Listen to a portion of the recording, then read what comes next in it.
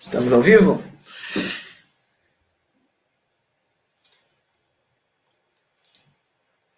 Tudo certo? Podemos começar, né? Pronto, perfeito. Bom, bom dia, boa tarde para quem está assistindo, boa tarde para todos. É... Vitor, não está aparecendo no YouTube. Ah, começou. Ah, não? Começou agora. Beleza. Bom, é, estamos aqui agora com o professor José Maluf. Ele vai falar um pouco para a gente sobre a trajetória dele na acadêmica, um pouco também sobre relatividade, que é a área dele. Vou falar um pouquinho sobre a própria formação do professor primeiro, para a gente se sentir aqui apresentado. O professor Maluf, ele possui graduação em Engenharia Metalúrgica pela USP, mestrado em Física pela USP também, e doutorado em Física pela University of Rochester, e atualmente é professor titular, titular na Universidade de Brasília, aqui na UNB, e tem experiência na área de física, é claro, com ênfase em gravitação e relatividade geral, atuando principalmente em teleparalelismo, gravitação, sistemas de referência, energia momento gravitacional. E é isso. Se o professor tiver que acrescentar ou quiser falar alguma coisa a mais, pode falar também. Sinta-se livre, professor. Boa tarde. É, essas são, são, em resumo, as áreas de, de, interesse, né? Ultimamente tenho também me interessado, junto com os colegas aqui no NB, é, em ondas gravitacionais. Temos feito alguns artigos sobre ondas não lineares. E então esse, esse tópico vem se somar né, aos outros que você já havia citado. Legal. Bom, então acho que a gente pode começar aqui com a primeira pergunta. A primeira pergunta ela vai ser para a gente já entrar direto no assunto, que é, professor, quais argumentos podemos utilizar para definir a relatividade geral como uma teoria geométrica da gravitação? Tá bem. Olha, o, o advento da teoria da relatividade geral como uma teoria geométrica é, é decorrente do uso ou do, do, emprego do princípio da equivalência. Sobre isso, me parece que há outras perguntas, há uma outra pergunta que vem adiante, e eu vou deixar para uh, falar um pouco mais longamente sobre o princípio da equivalência adiante. Mas é então o, uma, o, o princípio da equivalência estabelece equivalência entre, ou procura estabelecer equivalência entre é, efeitos gravitacionais e efeitos inerciais, ou seja, de sistemas acelerados. E uma quantidade que, que é sensível a, aos efeitos inerciais é o tensor métrico do espaço-tempo.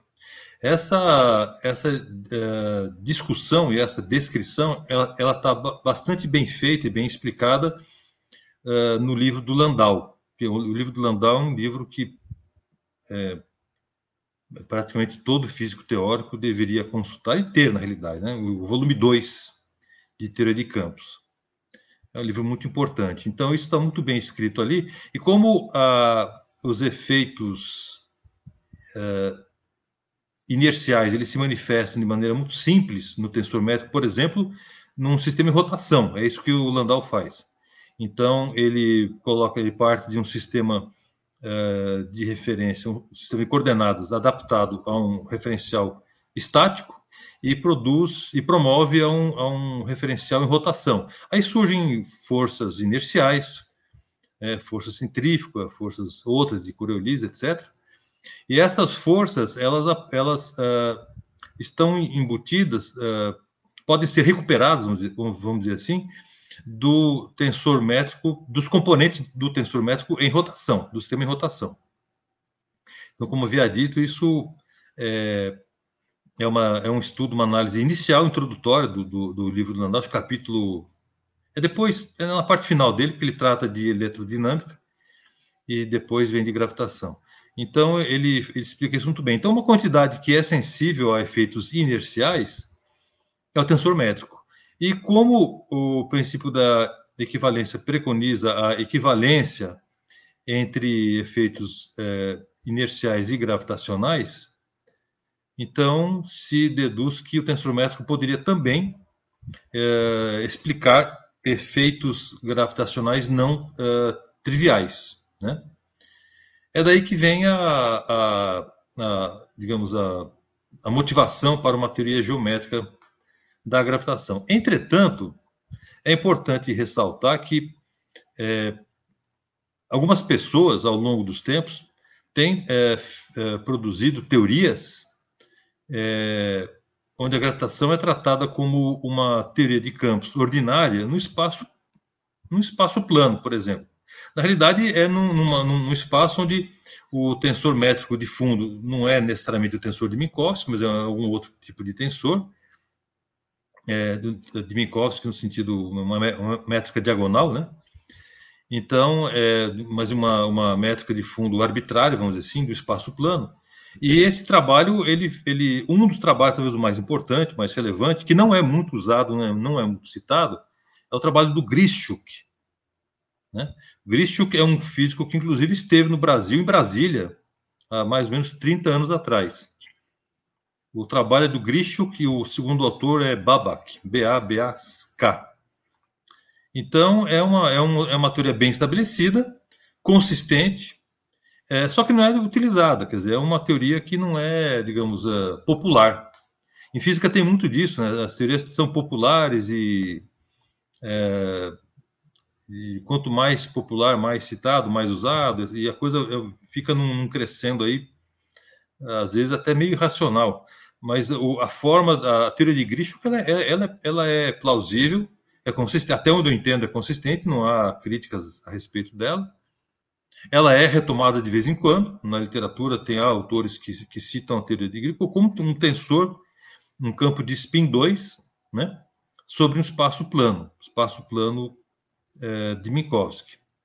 Então, no I não é uma teoria geométrica no sentido que não, não existe uma curvatura do espaço-tempo. Ela é geométrica no sentido que tem um tensor métrico de Minkowski, tem uma estrutura geométrica plana. Né? Existe uma teoria geométrica plana de fundo, mas não é, não é um, uma, uma, teoria desenvolvida né, no espaço-tempo com curvatura. Né? Essas teorias não são é, totalmente descabidas, porque, na realidade, praticamente todos os, os modelos mais relevantes de, de cosmologia, eles pressupõem um espaço-tempo uh, plano, quer dizer, o, das três possíveis curvaturas que existem, três possíveis tipos de espaços, né, com topologias diferentes que existem em cosmologia, o que prevalece nos modelos até que eu vejo serem aceitos é um teoria onde o espaço ele não é curvo, tem uma curvatura mínima, né? Então, não, não é exatamente uma, uma teoria é, geométrica, né? A gravitação ela tem que ser uma teoria relativística, né? É, certamente uma teoria que, que é uma é, tem que tem que estar adapta, adaptada a uma, uma estrutura de teoria relativística. Isso sim, geométrica é conveniente, é bonito, é, é uma é uma formulação interessante, mas não é necessária, até onde entendo. Inclusive, nós é, é, temos trabalhado aqui em Brasília nos últimos anos em, na teoria é, teleparalela, que tem uma geometria diferente. Ela também é uma teoria geométrica, mas não é uma teoria geométrica é, como é, se discute em, em, em, livros textos, né, que tem, tem, tem curvatura, né, não é uma teoria geométrica no sentido padrão, ordinário da palavra, tá? Legal. Essa é uma. Já começamos com uma pergunta até mais avançada, né? Então a gente já viu que muito tem a ver com esse tensor da métrica também. Você falou muito sobre isso. Mas só para eu é, com, completar aqui a pergunta, porque caso estejam, sei lá, calouros ou pessoas que ainda não avançaram muito no curso, como a gente poderia definir de uma forma simples o que é esse tensor, o que é essa métrica do tá. sistema? Só para tá. ficar é, um pouco é, mais claro. Tá, tá, é, é muito bom você falar isso. O, um, um, uma variedade, uma variedade é uma, digamos, é um espaço geométrico, uma variedade riemanniana, ela é definida é, pelo tensor métrico. O tensor métrico ele, ele é uma quantidade, vamos dizer assim, que tem dois índices, né?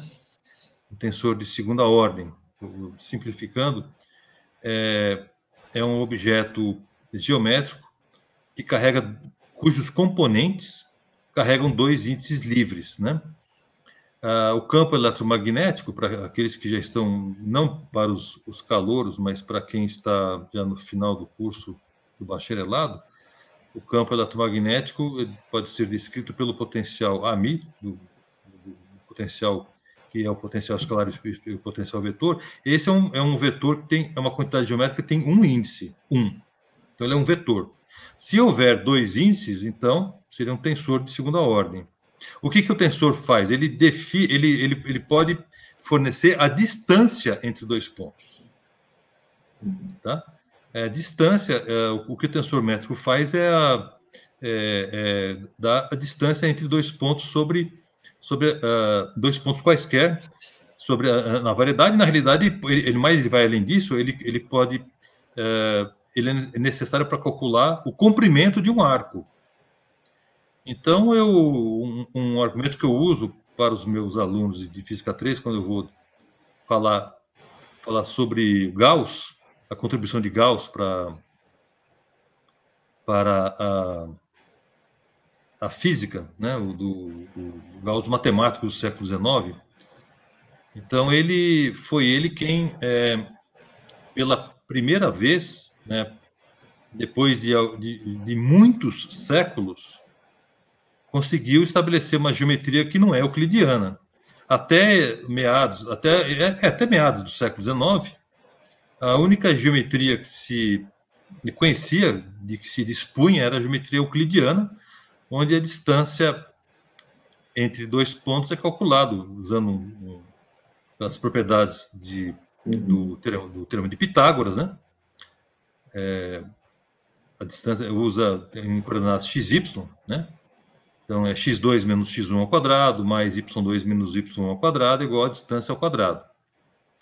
É, ali dentro, na geometria euclidiana, está embutido um tensor métrico também. As pessoas usam sem saber. Né? Para você calcular a distância entre dois pontos num quadro negro, em sala de aula, você, a gente uh, usa implicitamente o tensor métrico euclidiano. As pessoas usam sem saber que estão usando. Né? Então, até meados do século XIX, a única geometria que, conhecida é a geometria euclidiana, e ela, então, ela permite calcular a distância entre o, o, comprimento de um arco, na realidade, não apenas a distância, mas o comprimento de um arco uh, sobre uma superfície plana. E o Gauss ele generalizou uh, essa geometria euclidiana, né, para uma geometria de curvatura arbitrária. Uh, isso foi feito por ele. ele se preocupou em fazer a geometria gaussiana apenas em superfícies de duas dimensões. Então, ele, por exemplo, qual a utilidade disso? se a pessoa quiser fazer uma, quiser, por exemplo, calcular, calcular a distância entre Brasília e Tóquio, ele vai ter que usar os recursos da geometria é, de Gauss. Muito embora as pessoas talvez dispusessem de uh, acomodações ou recursos da geometria euclidiana para calcular a distância sobre uma superfície curva, a, sobre a superfície da Terra, por exemplo, é, o, o, a forma correta é através da geometria gaussiana, né, que tem curvatura em duas dimensões. Curvatura torção tem todos os, os, os uh, é, recursos é, geométricos foram desenvolvidos pelo, pelo Gauss. Então, e, e, por exemplo, se mais, mais do que isso, se, por exemplo, quiser um avião que vai numa trajetória irregular, digamos, fazendo zigue-zague, é, entre Brasília e, e, e, Tóquio novamente, então é, é, possível, através da geometria é, gaussiana, calcular a distância percorrida pelo, pelo avião. Então, você não, aí já você já não pode usar recursos de, da geometria gaussiana. Então, se o avião vai vai vai pelo o, o, Oceano Atlântico, vira para a esquerda, depois para a direita, etc. Tal, desvia para cá, desvia para lá. Então, a forma de, calcu de, calcular essa distância percorrida pelo, pelo avião é, é determinado pela, pelas, pelas ferramentas produzidas pelo Gauss. Isso para duas dimensões. Depois o, o, o Gauss colocou, teve um aluno de doutorado, né, na sua cidade lá na Alemanha, não sei se é Göttingen, eu não, eu não sei mais onde que é, é, que é o que, que é o Riemann. Então o, o Gauss deu para o Riemann ele desenvolver a geometria gaussiana para n dimensões. É aí que entra o, o entra o, o, Riemann, conhecido bastante dos, dos físicos, do, dos matemáticos, sobretudo dos, dos, matemáticos, porque ele tem problemas uh, associados a números primos, né? A função zeta de Riemann, etc. Então, uh, o, o Riemann ele, ele desenvolveu essa, essa uh, geometria para n dimensões. E foi essa geometria que foi usada né, pelo, pelo Marcel Grossman, amigo do, do, do Einstein. Né? Uh, quem, quem levou. E é, o trabalho do Riemann ficou esquecido lá nas, nos anais, ou na biblioteca da universidade. Na, na Alemanha, eu, eu, eu, realmente esqueci agora qual é a universidade lá, do Gauss e do Riemann. Mas a, Uh, isso foi levado da Alemanha para a Inglaterra pelo Clifford, que era outro matemático. Então foi ali que, o, que, o, que, o, o que as ferramentas foram uh, descobertas, redescobertas pelo, pelo Marcel Grossman e, digamos, trans, uh, compartilhadas com Einstein, que foi quem desenvolveu a, a parte física da teoria. Mas então, existe uma manifestação, vamos dizer assim, natural da teoria relativística da gravitação como uma teoria geométrica, mas não é necessário. Tá? Eu acho que não seja necessário. Então, o que, que o tensor métrico faz? Ele permite o cálculo, resumindo, voltando, ele permite o cálculo entre dois pontos, no caso, a geometria é definida por um elemento infinitesimal, e você conseguindo fazer o cálculo infinitesimal, você faz ao longo de uma, de uma curva arbitrária. O cálculo pode ser um pouco mais complicado, eh, matematicamente, mas conceitualmente ele é muito bem definido. Você integra o elemento de linha ao longo da, da, da trajetória que você quer, né? Então, isso, esse, esse é o, esse é o, o, o, papel do tensor métrico, ele fornecer a distância entre dois pontos infinitesimais. Lógico que você não pode calcular, não tem, não tem muito sentido você falar distância entre dois pontos não infinitesimais numa superfície curva, porque você tem uma infinidade de de trajetórias entre os dois pontos, né? Não é única. Então, a, a, essa é a ideia. E todos, todos nós, todos vocês, nós no segundo grau, os alunos, quando, é, é, todos nós que é, estudamos geometria elementar euclidiana, nós estamos usando, já usamos o, o, o tensor métrico euclidiano uh, exatamente nessa operação. Um ponto de coordenadas x1, y1 e outro de x2, y2, a distância é igual a raiz quadrada de x2 menos x1 ao quadrado mais y2 menos y ao quadrado. Né? Nesse cálculo está embutido o tensor métrico. Legal. Nossa, resposta bem completa, professor. Acho que agora todo mundo, de qualquer período da física, conseguiu tirar alguma informação. Muito legal. Acho que o Marcos agora vai partir para a próxima pergunta, que já complementa essa primeira. Com certeza. É uma sutileza o cálculo das distâncias e é, é, é bonito, é, é, sutil e bonito. É, então, nossa próxima pergunta, tomando um gancho da anterior, é como o senhor explicaria o princípio da equivalência da relatividade geral para os calores da física?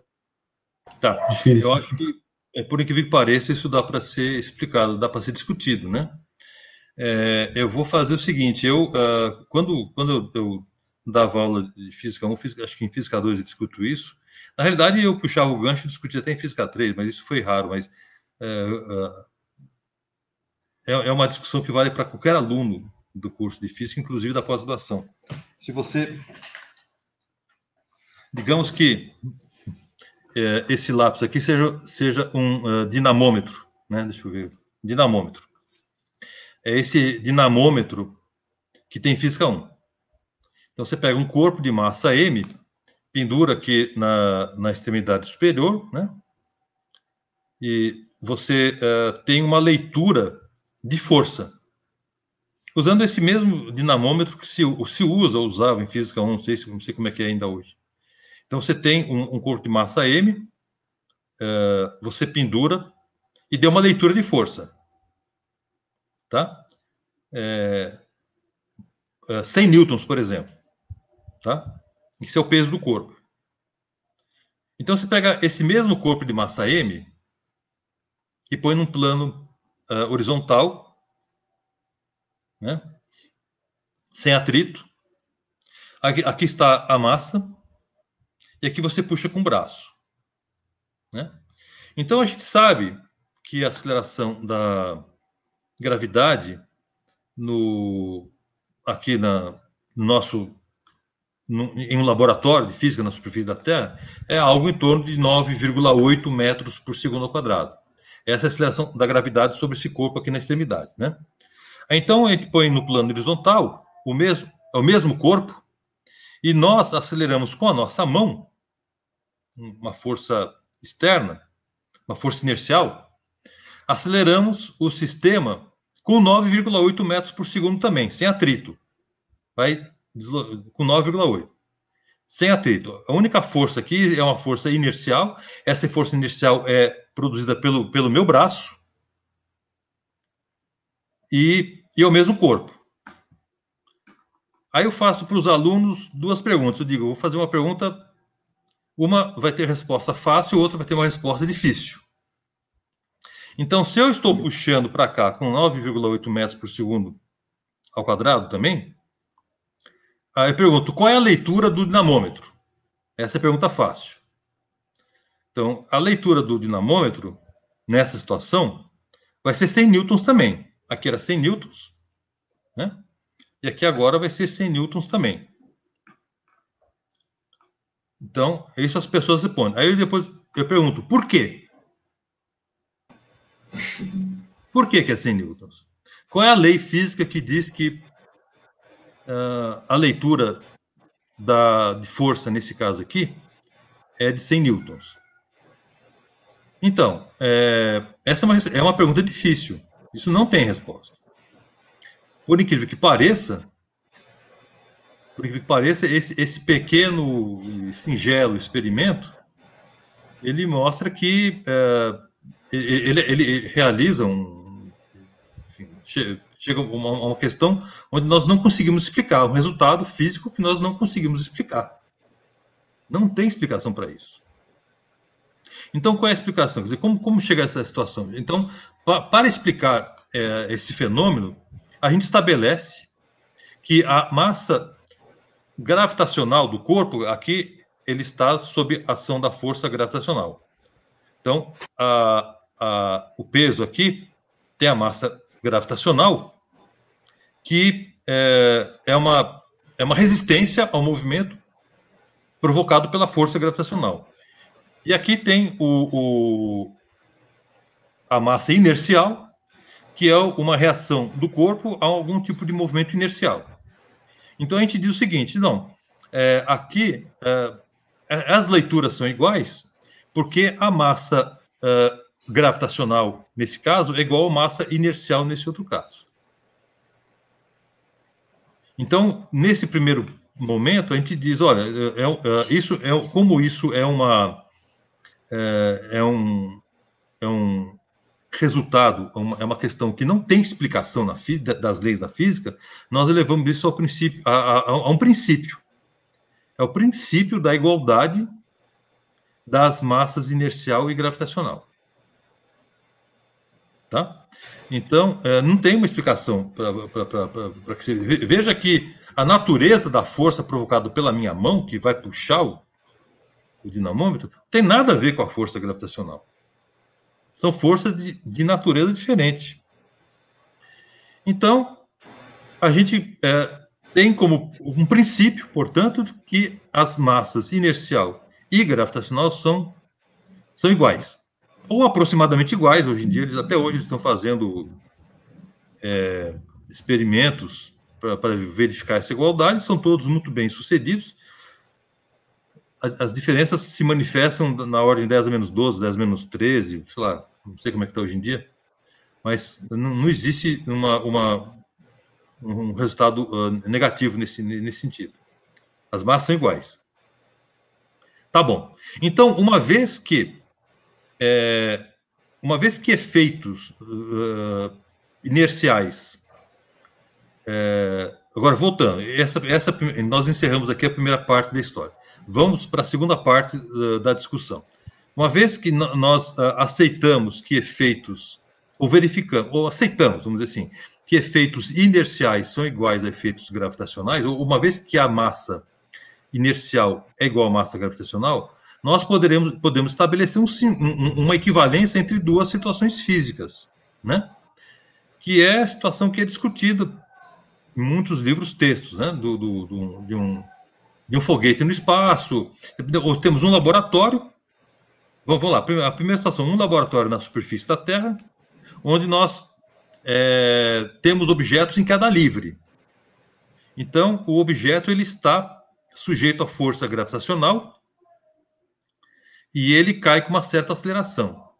Então, o que o Einstein propôs como princípio da equivalência é que esse sistema físico ele é equivalente, fisicamente equivalente a um sistema, um laboratório onde não existe campo gravitacional, mas todo o laboratório agora está sendo é, acelerado para cima.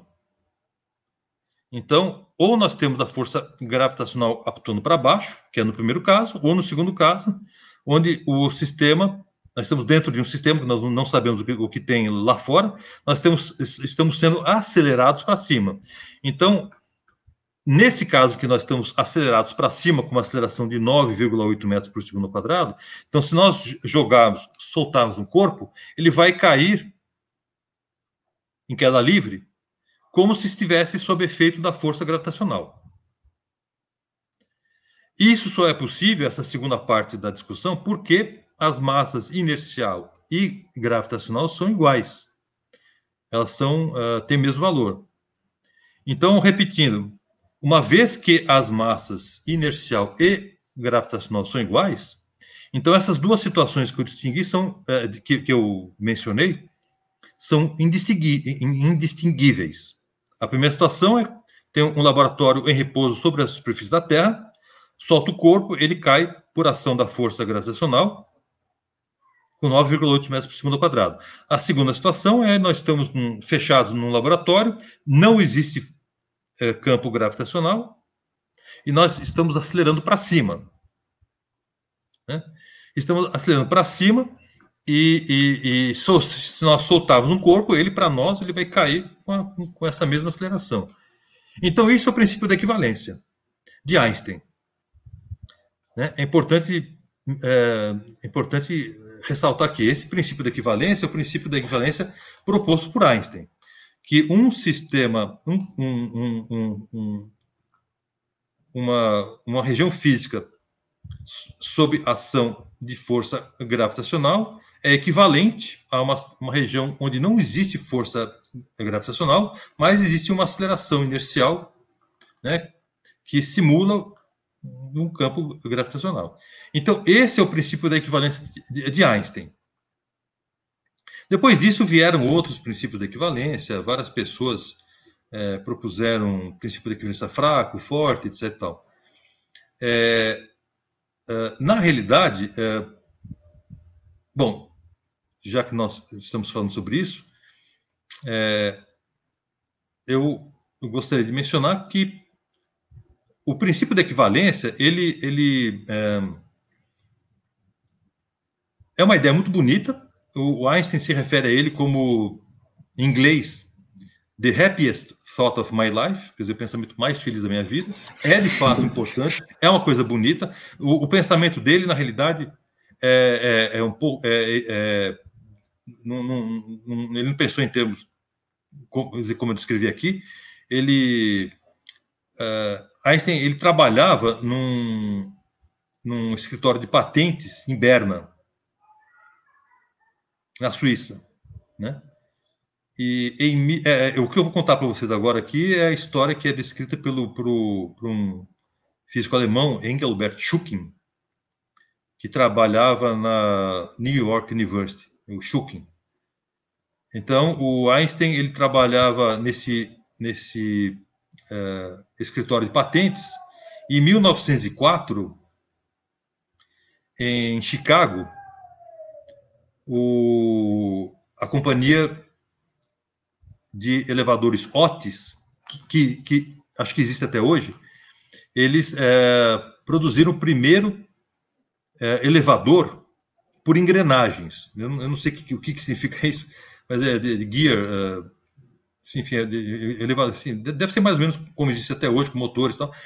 Mas é, é, eles produziram o primeiro, lá em Chicago, produziram o primeiro é, elevador. E em 1907, esses, é, essa companhia chegou em Bern, chegou na Suíça, ele, acho que, uh, não sei, talvez em Zurique, eles uh, quisessem já instalar os elevadores em prédios de seis, sete andares. Isso passou pelo escritório de patentes dele. Então, Schuchen desconfia de que o Einstein tenha lido, tenha, uh, tenha sido, digamos, obrigado a dar um parecer sobre essa patente que de, de elevadores, né? E que, que iriam uh, instalar lá na Suíça. E foi aí que provavelmente ele, ele teve essa ideia, que ele falou, bom, se, bom, vamos pensar num caso extremo de o sistema não funcionar, né? Então, o que acontece se, eu, se ele quebrar, né? O que, o que acontece se eu estiver dentro de um elevador e, e cair, né, em queda livre?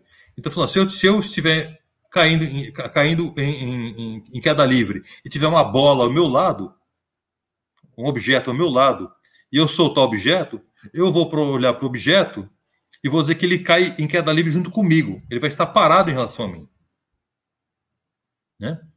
É, então, o fato de que ele, uma, ele, ele notou que por, por uma, um, uma transformação, acho que foi na cabeça dele, uma transformação de referência de um referencial inercial para um não inercial, você poderia zerar a força gravitacional. É, esse fato dele, dizer que em queda livre, se eu olhar um objeto, ele vai cair junto comigo, vai cair, ele vai estar igualmente acelerado comigo, quer dizer, objeto no meu referencial, ele não tem aceleração gravitacional. Então, ele, é, ele é, verificou que isso poderia, é, poderia ser uma, uma forma de, de, de você, digamos, eliminando o campo gravitacional, você passar, você estender a teoria da relatividade especial para sistemas de referência não inerciais. Né? É, então, deixa eu uh, voltar aqui e, colocar em questão. Então, o princípio é, é, foi a, foi a partir desse, desse raciocínio que ele teve que ele formulou o princípio da equivalência. Né? Essas coisas todas que eu falei, de massa no, massa no, no dinamômetro assim, assim assado, num, num, laboratório na superfície da Terra fechado com aceleração gravitacional, outras não, não tem gravitacional, está acelerado para cima, tudo isso está interligado, são todos conceitos equivalentes. Tá? Então, é, isso compõe, essas ideias compõem o princípio da equivalência de Einstein. Tá? É, é, é, que ele formulou a partir desse pensamento que ele viu que se ele, se ele, poderia, digamos, eliminar o campo gravitacional se ele estiver num sistema acelerado, né? Essa, essa é a ideia. É, não é muito fácil para um aluno de graduação assimilar isso, isso, isso. Essas coisas não são simples, viu, gente? É, se vocês perceberem, o, os livros textos de, de física, física 1, Física 2, as edições antigas do, do Halliday, da, do Halliday Resnick, antigas, né? É, eles praticamente não tinham nenhum, nenhuma discussão envolvendo sistemas é, é, de um referencial para outro, de mudança de referencial. Toda discussão que envolve mudança de referencial é complicado, é, é complicado é complicado para um aluno, né, para todos, basicamente. Né? Então, nunca foi os alunos, os alunos por esse uh, treinamento de Física 1, Física 2, Física 3, por essa série de livros, eles não são incentivados a raciocinar ou desenvolver o raciocínio em, em relação a, a mudanças de, de, de, de referenciais. Né? Isso é, as, eu já olhei, acho que edições mais recentes de Física 1, Física 2, uh, há uns cinco anos atrás eu olhei, parece que já tinha alguma discussão sobre sobre relatividade. E essas ideias de relatividade elas remontam a, Galileu, não, não, foi, Einstein que inventou isso, isso esse, esse é de Galileu. Né? Então, mesmo essas ideias galileanas não são muito discutidas em física. Não dá para você dizer que, que, que isso é errado. Na realidade, eles acho que resolveram escolher aquilo que seria mais relevante para ensinar no curso de física. E fizeram lá um texto que teve um relativo sucesso, né? Mas a rigor a gente deveria é, trabalhar com, junto ao aluno com, com essas ideias de sistemas de referência, de, de, de mudança de referencial, né? Porque isso é muito importante, né? Mesmo em Física 3. Acho que o finalzinho do livro 1 do Moisés, ele é, fala um pouco sobre isso. Eu acho é. que os alunos de mecânica ainda usam ele. Acho que, é. inclusive, quem está estudando por agora, sabe? É, não, o, o certamente, o, acho, acho que o Moisés faz isso, mesmo o Rally Hess tem lá, eu, eu, olhei isso já, eu já, não, eu já não lembro quando que eu olhei isso, há vários anos atrás, então eles introduziram isso como um apêndice lá, um, uma coisinha para você estudar se quiser, né? Mas uh, isso, isso provoca essas ideias de, de, mudança de referencial, elas provocam confusão na cabeça dos alunos, provocam muitas dúvidas, mas são importantes.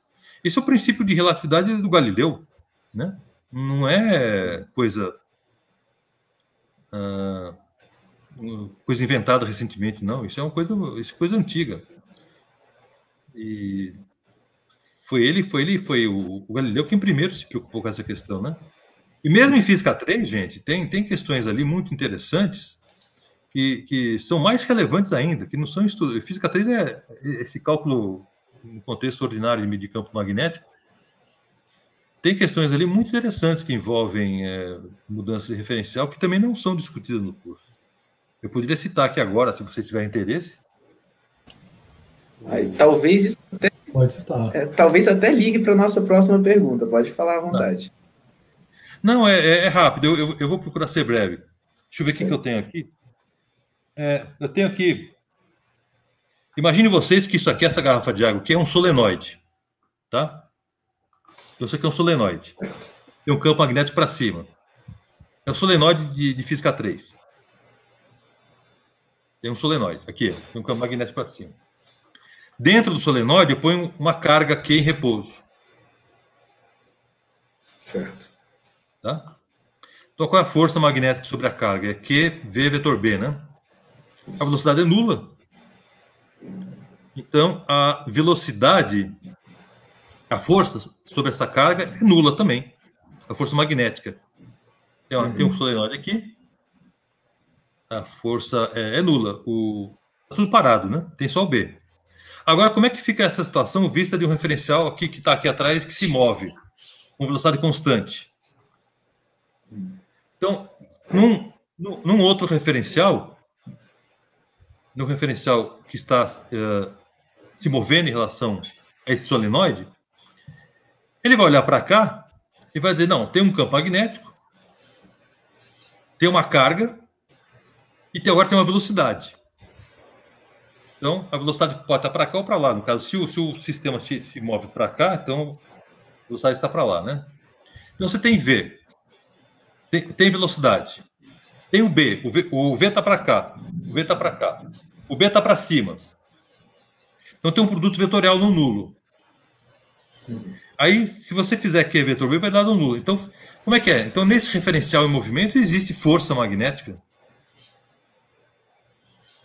Não é? Sim. Perpendicular. Mas afinal de contas. Hã? A então, força é perpendicular, né? É. Então, afinal, existe, existe uh, força ou não existe força? Né? Então a resposta é que não existe força. Mas para você discutir isso, você vai ter que discutir, você vai ter que introduzir nesse nível aqui de discussão, nesse nível, as transformações de Lorentz.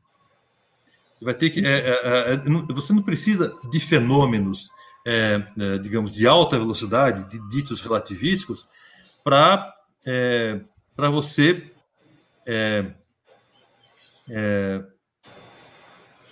usar as transformações de Lorentz. Nesse caso aqui, você já precisa disso. Essa é a resposta. E então você vê que, que, que esses conceitos de, de, de uh, essas ideias, a física por trás de mudanças de referencial é uma coisa importante e que poderia ter espaço nos cursos de Física 1, Física 2, Física 3, mas não tem. Não vou dizer, como eu disse antes, não vou dizer que, são, que é uma falha, não é falha, porque é tanta coisa que você tem para ensinar, isso acaba sendo, vamos dizer assim, é, relegado segundo, a segunda importância, né? Então, é isso. Sobre referências que tem sobre é, os princípios de transformações, o Landau, volume 1, né, já foi citado, o volume 2, o volume 1 tem as transformações de Galileu, é um pouco mais pesado. Sim, Não, eu, eu, é, eu, eu acho que todo, todo estudante que tem uh, se vai se decidir pela física teórica tem que comprar os livros do volume 1, volume 2, né? Uh, o 3 de mecânica quântica, eles têm que uh, conseguir toda a exposição, porque o Landau tem um, um, um uh, bom, Landau Lifshitz, né? Ele tem um, um, raciocínio bastante sofisticado, muito muito bom. E isso é, é, muito importante. Eu acho que eu recomendo os alunos a, a, a comprarem sim. Usei também o Landau, recomendo também. É, bom, só é ruim de achar o Landau, é difícil encontrar é, o Landau. É verdade.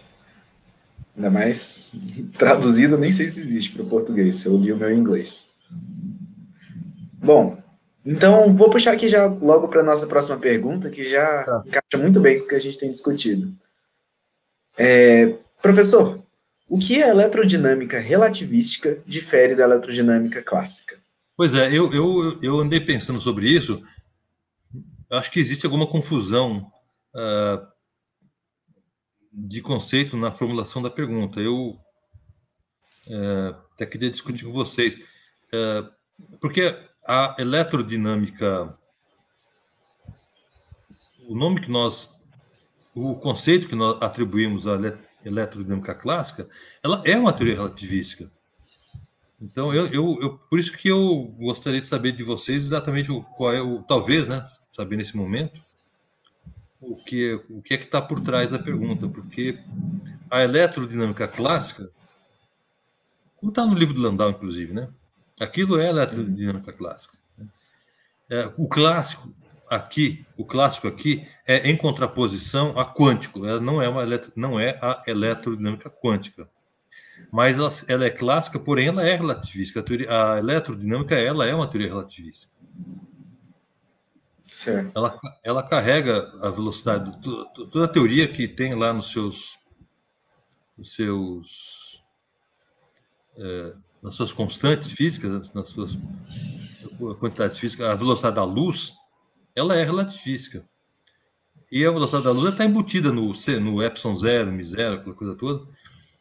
Então, a, a, a eletrodinâmica relativística, ela é, é igual a ela é uma teoria clássica, né?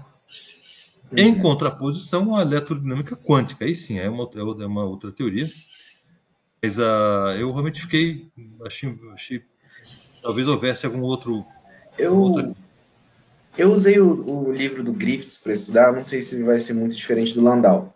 Mas é um livro muito bom. No é. final do livro do Griffiths, ele começa a abordar um pouco sobre a influência das transformações de Lorentz na, nas questões eletrodinâmicas. Eu acho que é, quem escreveu a pergunta deve ter pensado nesse sentido, entre qual a diferença da, do uso que a gente dá da eletrodinâmica antes de aprender uh, sobre transformações de Lorentz, o uso clássico, digamos assim, o uso que a gente vê até no ensino médio, talvez, e o uso que a gente consegue usar depois que a gente aplica essas transformações de Lorentz? Qual, qual, como, qual a visão que muda depois que a gente entende a relatividade sobre a eletrodinâmica?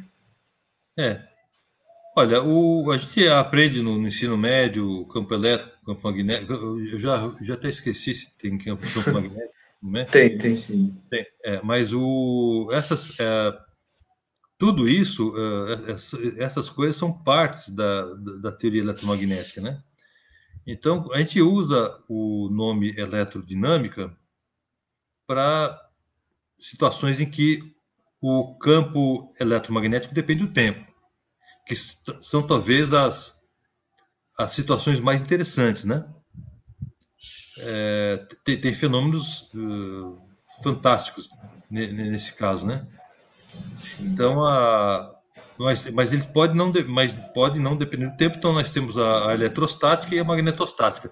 Mas tudo isso compõe uma única teoria. A, a eletrostática é parte da, da teoria eletromagnética de Maxwell. A magnetostática também é parte da teoria de Maxwell, do jeito como ela, ela se apresenta, tá? E, uhum. tem, e, e, tudo isso compõe a teoria eletromagnética. Então, a gente diz eletro, a gente usa o termo eletrodinâmica quando a gente prevê já o estudo de, de, de campos dependentes do tempo. Tá? Ondas eletromagnéticas, por exemplo, depende do tempo. Né? Radiação eletromagnética depende do tempo. É, o campo de uma partícula em movimento também depende do tempo. Né? Então, é um caso de eletrodinâmica. Então, é, mas é tudo. São faces da mesma teoria. São todos. São todos. É, é, são todas facetas né, de, uma única coisa. Então a gente pode dizer que a, a, teoria é a mesma, né? Mas são só formas diferentes de explorar é, ela. É, a teoria é a mesma. O, o, sem dúvida, a teoria é rigorosamente a mesma.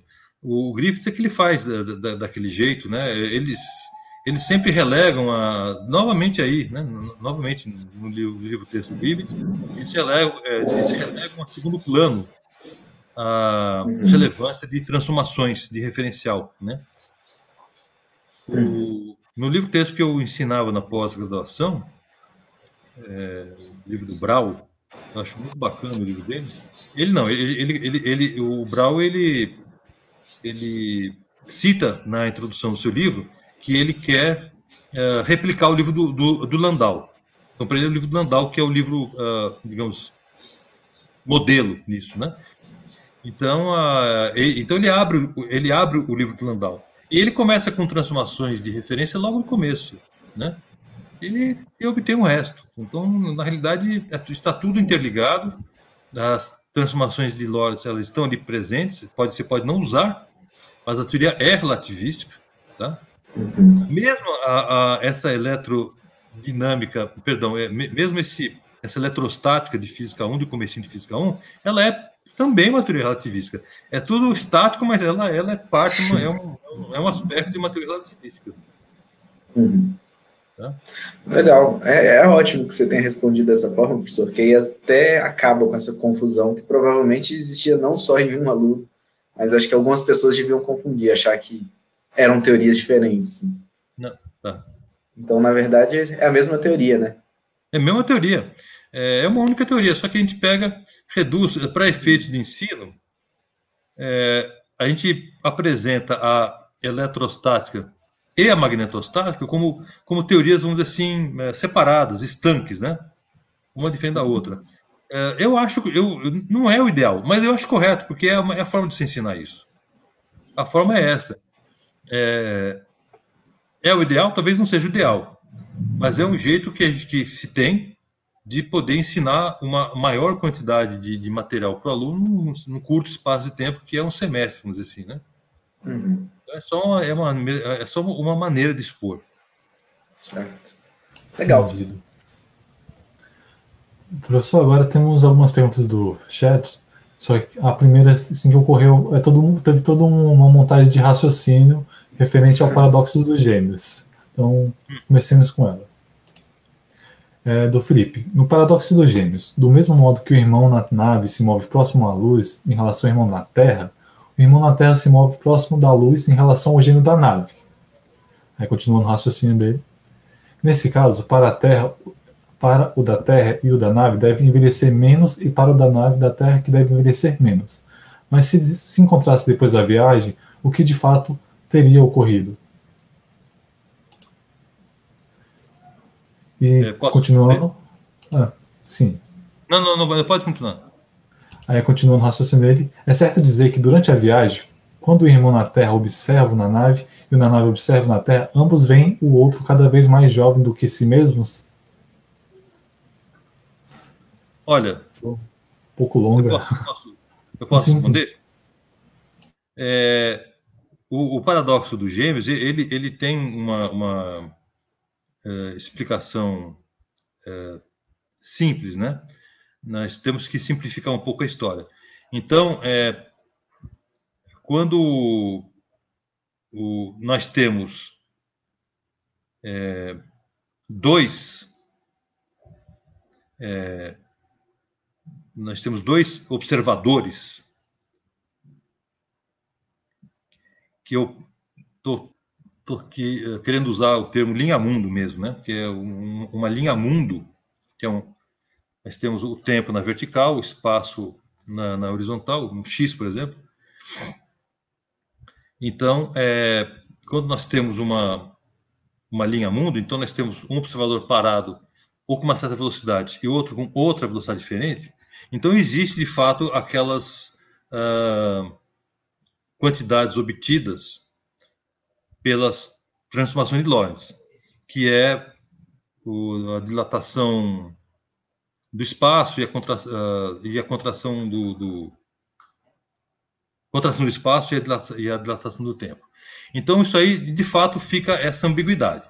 Se você vai eternamente, se você tem essa situação ocorrendo indefinidamente, então de fato você nunca vai saber como é que está o outro, uh, como é que a física do outro, o espaço-tempo do outro é, o relógio, no caso, né, funciona. A gente tem, tem as transformações de Lorentz, elas permitem nós inferirmos, né? Nós vamos inferir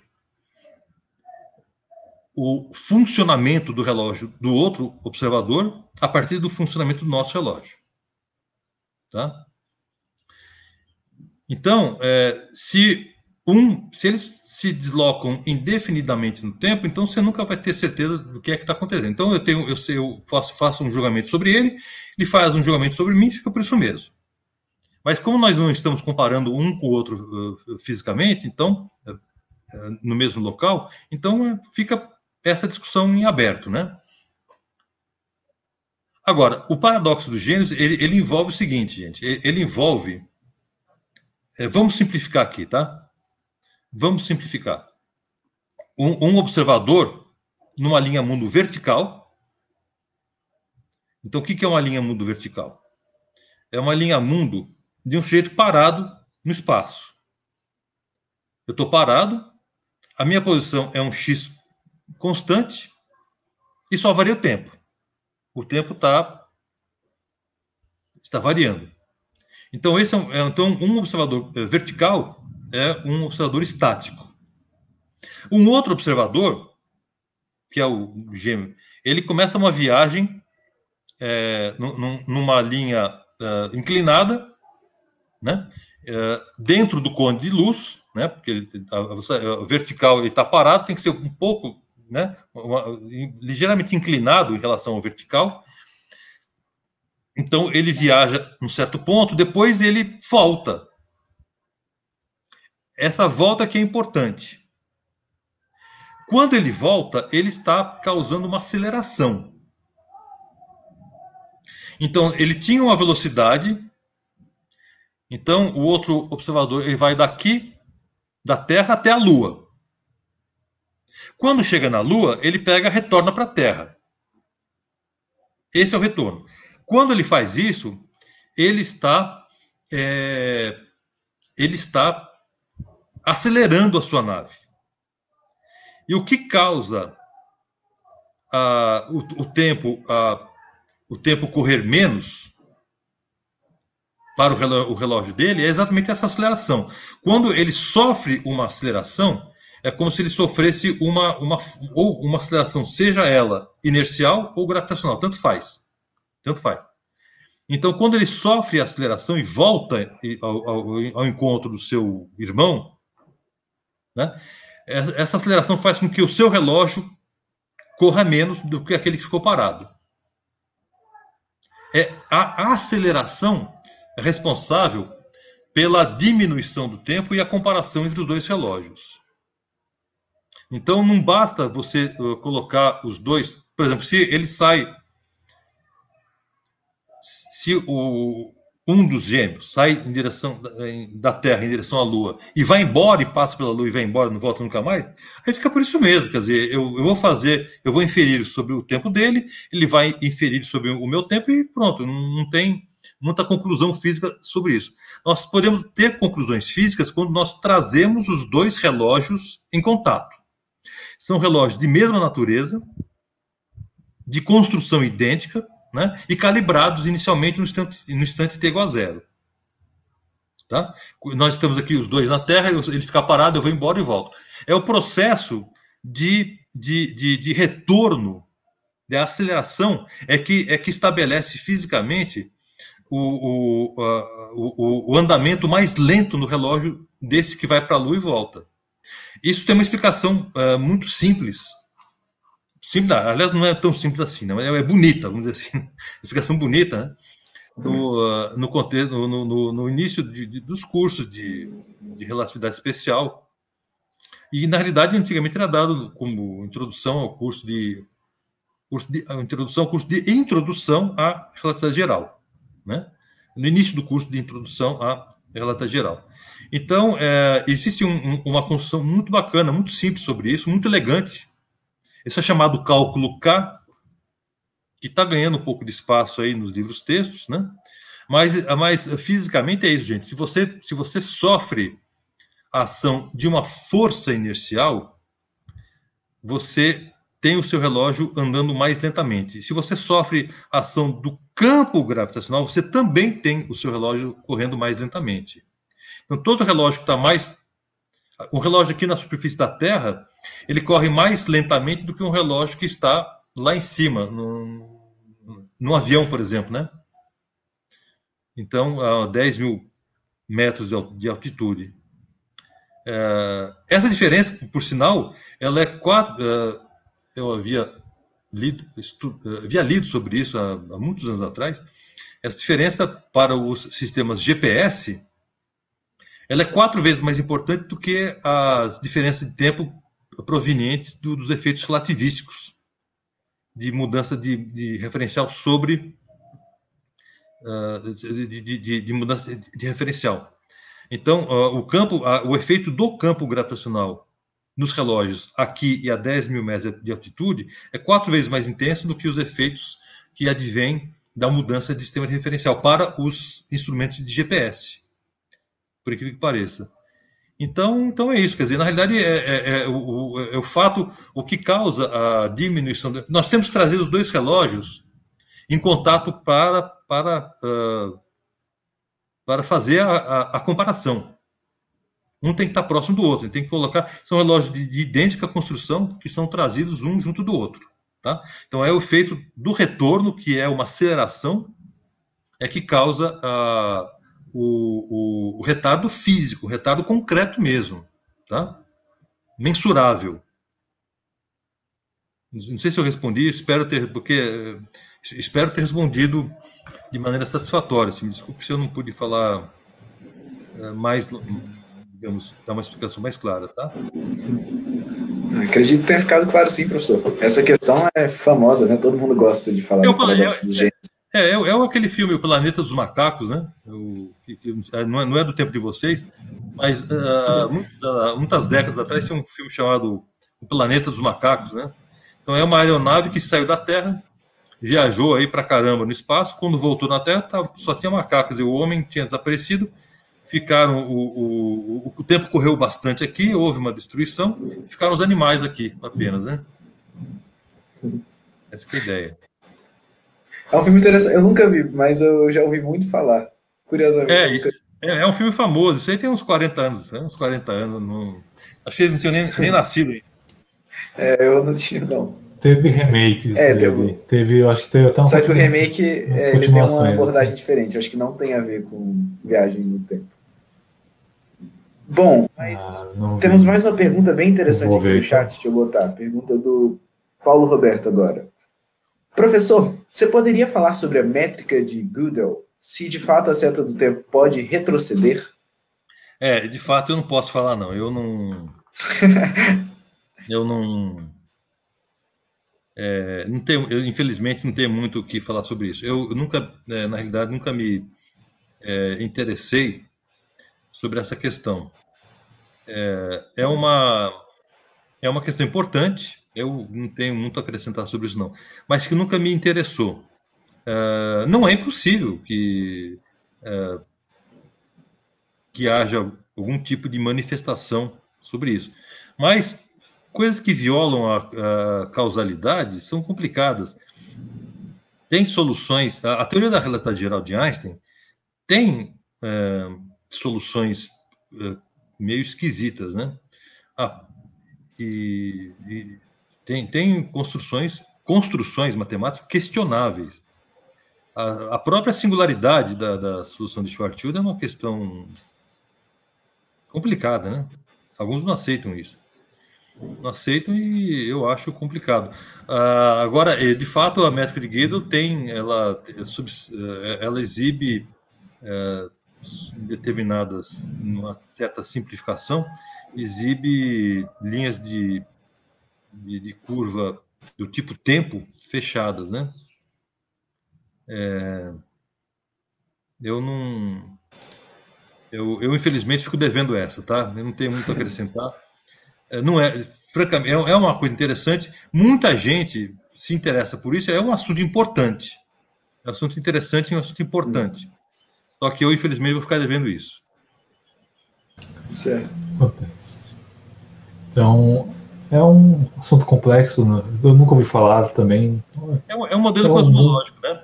Na é realidade, é um modelo cosmológico que, que é, é importante, na realidade, a sua formulação é importante para mostrar os limites da teoria de Einstein. Então, você tem que mostrar os limites, uh, que está cheio de, de problemas. Né? Ela tem muita propaganda por trás, mas é uma teoria cheia de problemas. Cheia de problemas. Uh, tem vários, né? No, tem, tem livros, hoje em dia os livros estão uma qualidade meio questionável, mas há uns 20 anos atrás, 25 anos atrás, o, o livro que comemorava acho, os 100 anos, eu tenho aqui na, na minha. É, o, o centenário do nascimento de Einstein, é, é um livro produzido pelo Hawking Israel, um livro capa verde, tem, tem na, na biblioteca do UNB. Tem lá um, um, capítulo inteiro sobre um, de um sujeito, um cara muito bom, Robert Garrosh, um físico matemático, um relativista lá de Chicago, falando sobre os problemas da teoria de Einstein. Dizer, é um capítulo, basicamente, do, do livro sobre, a, sobre o. Tem problemas de todo tipo, gente, mas é assim que funciona a física, né? É assim que funciona. Você, você, você vai, vai, põe uma, uma teoria na linha de frente e vê o que, que dá certo, o que, que dá errado, analisa, investiga, é assim que funciona. Mas tem problemas. E essa solução de, de Gödel é, é, um, é um dos problemas que os, as pessoas não sabem bem o que fazer com ela. Tá? Isso é, um, é uma questão complicada, mas aí eu vou ficar devendo. Certo. Então, professor, vamos para a nossa próxima pergunta do chat. Uma pergunta do Alisson Silva. Você trabalhou muito com gravitação teleparalela. É possível contornar as dificuldades usuais para a quantização da gravitação dentro desse formalismo? Olha, as, as, dificuldades são grandes. Eu não sei se é possível. É, quem é, tem trabalhado sobre a quantização do campo gravitacional na formação teleparalela é o Sérgio, Sérgio Costa Lhoa. Ele tem muitos trabalhos sobre isso. Mas é difícil do mesmo jeito. Uh, eu acho que, é, que, é um pouco mais plausível. É, é que falar em quantização da, da, gravitação é complicado, gente. É, é outro assunto que ninguém sabe muito bem o que, que é, né? Ah, não sabe se a quantização da gravitação é uma quantização do espaço-tempo, se é um campo de spin 2, é, se existe algum reticulado por trás da, da estrutura do espaço-tempo na escala de distância de Planck. Ninguém sabe bem o que, que é, né? E não sabe se é simplesmente a quantização de uma teoria da física, mas a, as dificuldades usuais, como está na pergunta do Alisson, né? É, são, são enormes, né? São quantidades assim, são, são, são muito, são numerosas. É, talvez ajude. O Sérgio ele, ele se interessa por essa abordagem, ele observa que é mais é mais plausível a quantização, tá? Uh, mas a, não vou dizer para você que né, seria prematuro dizer que a quantização é possível na formulação teleparalela. Eu, eu acho que ainda tem obstáculos. Uh, essas quantizações elas se dão no contexto de algumas simplificações, por exemplo, espaços-tempos com rotação, tipo de Kerr, né, no contexto da, da métrica de Kerr. Então, eu não, não sei direito, francamente, se isso uh, ajuda. Eu sei que nos, nos artigos escritos pelo Sérgio com seus colaboradores, aqui no Brasil, lá no, no Canadá também, ele, eles têm resultados positivos, relativos, por exemplo, à temperatura de buracos negros, né?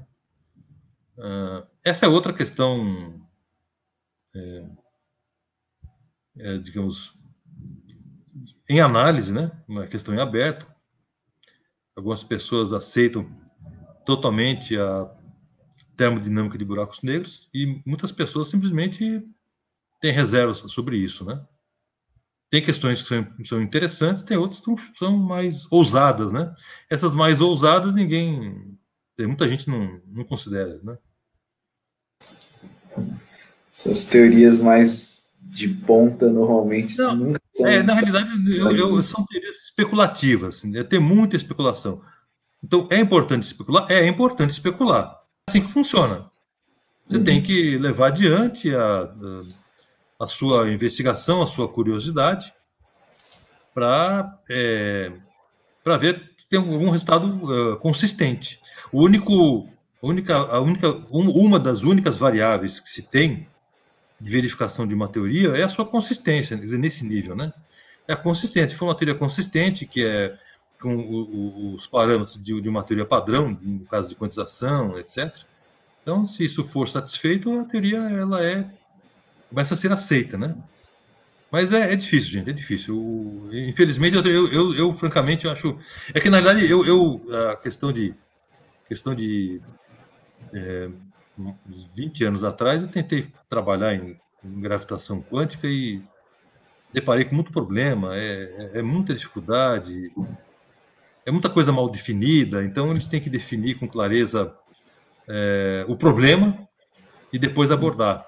Mas a gente, é, na época em que eu, digamos, abandonei isso,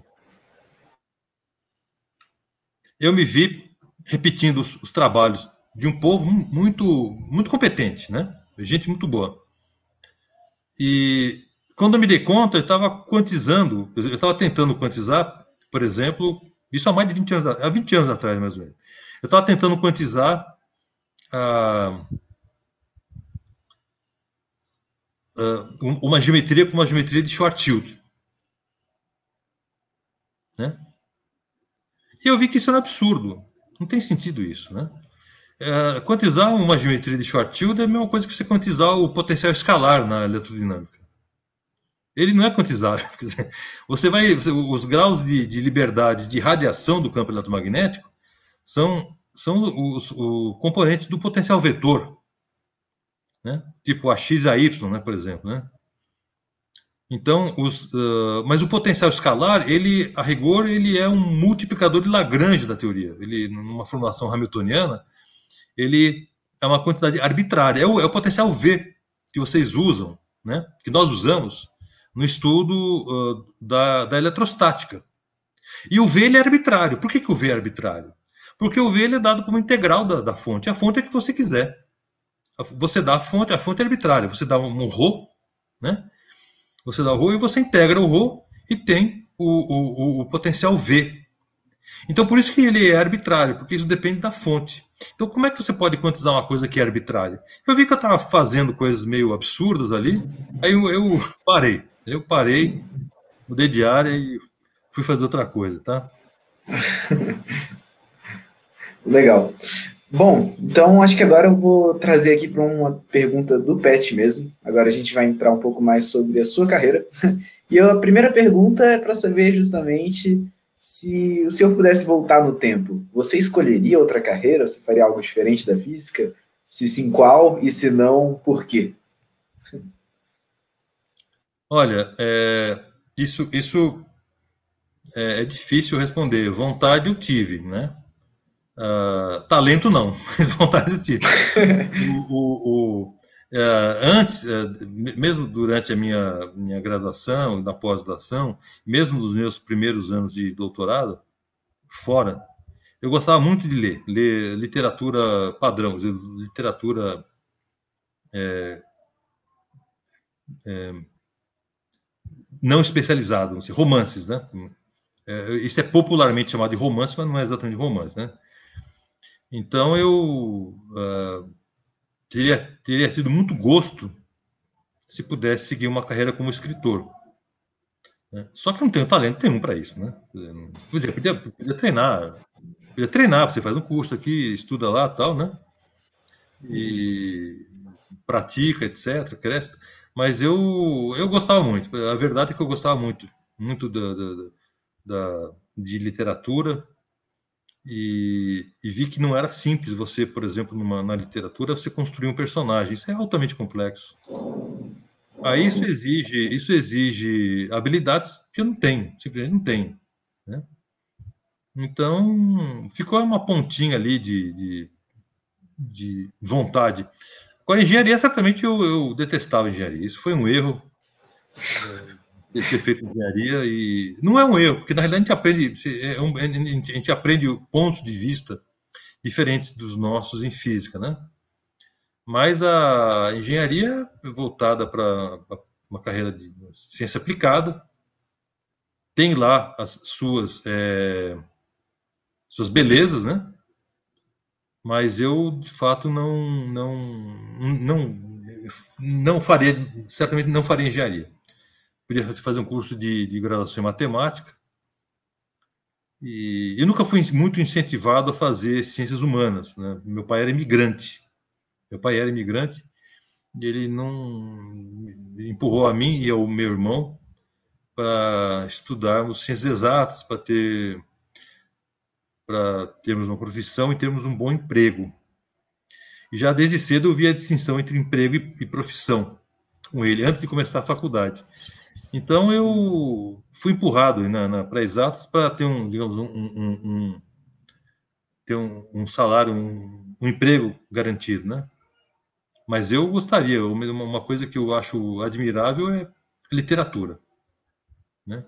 Eu gostaria muito, mas infelizmente me falta tudo. Legal demais. Nunca é tarde também, né, professor? É, pode Você... ser. É. Pode ser. É, por curiosidade, professor, se eu tenho um autor assim que o senhor fala, é, eu gosto muito de ler as obras desse, desse tal pessoa. Tem alguns. Eu, eu gostava muito de ler do Alberto Camus. E muito, né? E lia alguns dramaturgos, né, que faziam teatro, né? É, Samuel Beckett. Eu li na escola, por incrível que pareça, eu gostei do, do no ensino médio, gostei dos livros do Graciliano Ramos, do José Lins do Rego. Né? Uh, nunca eu talvez a, a, a, escola o colégio na época do colégio nunca me tenha nunca me tenha incentivado a gostar de Machado de Assis por exemplo porque Machado de Assis é um pouquinho sofisticado não é aquilo que parece à primeira vista né mas eu, quando li o, o Alienista, eu não, eu não, me aguentei. Eu, não conseguia passar de uma página para outra sem dar risada, né? Sem, sem me divertir com aquilo tudo, aquela, loucura toda, né? Mas a, é uma coisa que eu gostava, entendeu? Mas é, a gente logo sente se, se tem ou não tem é, digamos, habilidades, né? Para isso, né? Mas era bacana, eu sei que aquilo era bacana. Infelizmente foi. Agora, física, física é muito bacana. Só que a física, a, a, a, à primeira vista, e acho que não, não apenas à primeira vista, acho que no, no, no, no como um todo, a física é muito mais difícil. Né? A física é uma ciência difícil. É uhum. Entendeu? É mesmo. Você, você, uh, você dominar os, os, conceitos em física não é fácil para ninguém. Entendeu? Não é fácil para ninguém é, é muito complicado. Então, o, isso, isso também é parte de uma beleza que tem a física. Você é, é o que eu discuto com os alunos no, no início do, do, curso, né? Eu falo assim, é, é, o, o, que é bonito em física, você definir uma quantidade enorme de fenômenos em apenas, no caso da mecânica newtoniana, em apenas três princípios. É incrível você você definir praticamente tudo, tudo, tudo da mecânica newtoniana em três princípios. Isso é fantástico. Entendeu? Isso é uma coisa que, que realmente se pensar, mas você não pode ensinar isso em física, você não pode começar dos princípios e deduzir o resto. Então a gente ensina física 1 naquele esquema de cinemática, mecânica, força, massa, momento linear, momento angular, etc. Né? Leis de conservação. Então a gente é, ensina desse jeito, porque não é possível você ensinar uma pessoa normal a, a mecânica newtoniana a partir dos princípios. Isso, isso é uma... Mas só depois é que você vê que aquilo tudo é baseado em três princípios. Então isso é bonito. Mas isso é, olha, eu acho isso muito complicado. Isso é muito, é muito difícil. Física não é simples, vocês sabem disso. Mas a e a literatura dá uma liberdade, né? E essa liberdade que que, que a física não tem. A física, a gente não pode fugir da, da realidade física, né? Fugir do real. Do real. Aparente real. É. Certo, professor. Nossa próxima pergunta do, do PET Física é referente à escrita de artigos. O que o senhor julga? Peraí. O que o senhor julga que um artigo de excelente qualidade deve ter? Rapaz, isso uh, não é simples. Eu, eu costumo dizer para as pessoas o seguinte: em primeiro lugar, isso, isso em duas etapas, tá? Numa primeira etapa, eu, o, aliás, em três etapas. Três etapas. Eu vou começar do zero, que é o, repetir aquilo que um professor lá da Universidade de Rochester dizia sobre escrever artigos, né? Ele dizia o seguinte: sempre que vocês forem escrever um artigo, vocês têm que escrever esse artigo como se fosse o melhor artigo da sua vida, o artigo mais importante da sua vida. É, é verdade que não é assim que as coisas funcionam. A gente não, não, não, procede desse jeito. É bom ter em mente que, que esse é o procedimento que nós, deve, que nós uh, devemos ter. Mas nem sempre isso é possível. E nós não, não, conseguimos fazer o tempo todo desse jeito. Né? Mas um artigo, uh, um artigo bom, ele tem que ter, primeiro, um conteúdo de novo, três, três características. O primeiro, um conteúdo de novidade. Tá? Segundo, ter um, um conteúdo de relevância, ele deve ser importante, quer dizer, não pode ser uma coisa matematicamente importante e fisicamente nula, né? Então ele tem que ser importante, tem que ter, tem que ter relevância. E terceiro, tem que estar correto, tá? Matematicamente correto. Então essas três características elas compõem um artigo. Uh, acho que acho que todo artigo, todo artigo de, de, de, de boa qualidade. Então, repetindo, ele tem que ter bom conteúdo, tem que ter, um, tem que ter uma dimensão de relevância, de aplicabilidade, tem que ser uma coisa relevante, e tem que estar matematicamente correto. Tá? Mas, quando se fala de artigo de excelente qualidade, acho que tem uma coisa a mais aí. É, eu acho que, além disso, o artigo tem que ter entusiasmo. A pessoa tem que estar entusiasmado para fazer aquilo. Eu acho que um ensinamento para os alunos de física é, que eu poderia dar é eles fazerem a coisa que eles gostam de fazer. Tem que fazer o que vocês gostam. Se você gosta de tal coisa, não faça forçado um, um outro assunto, porque isso, isso vai te prejudicar a carreira, vai te prejudicar no tempo de hoje no tempo, e, e no futuro. Nós devemos fazer o que nós gostamos em física. Tá? Então, eu, eu, eu, eu, eu sugiro isso para todos vocês, tem, você, tem que escrever um artigo com entusiasmo. Um artigo de excelente qualidade, ele vem com tempo também, né? Você está... É, é lógico que no começo da carreira você não vai seguir esses critérios que eu dei. Você está ah, tá ligado a, a, um orientador, depois está ligado a um postdoc, um, ligado ao seu orientador, né? Então, você está ligado um grupo de pesquisa, você não tem muita liberdade de fazer. Então, você faz aquilo que é, é importante ali naquele primeiro momento, né? Eu acho que depois de uns 8, 10 anos de, de, de atividade, depois do, de 8, 10 anos do, do doutorado, né, é que o aluno tem que começar a se preocupar com isso que eu falei.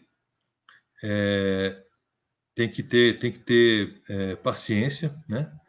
e, e, e, desenvolver as suas próprias ideias, fazer aquilo que você gosta. Quando eu digo fazer aquilo que você gosta, é desenvolver suas próprias ideias. E, e, e seguir, entendeu? Uh, seguir na, na, na, na, carreira. Eu, uh, eu estava já em Brasília, então, quando foi em 1996, mais ou menos, é, houve uma conferência, né? É, houve uma reunião, na realidade, de trabalho lá no centro, e então vieram muitas pessoas de fora. E eu fui incumbido de convidar uma das pessoas. Então veio um físico alemão muito conhecido, né? Friedrich Hell.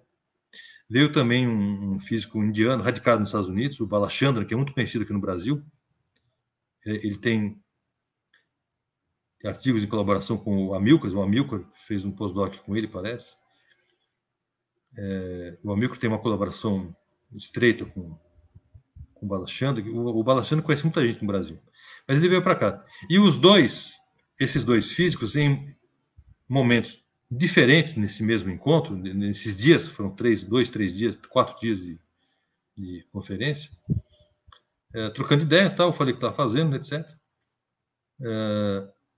e o, eles disseram para mim, não, você tem que fazer, você não tem que trabalhar isso, tem que trabalhar em tal coisa, vai, vai estudar tal coisa, fazer não sei o quê, vai, enfim, me recomendaram fazer outras coisas, né?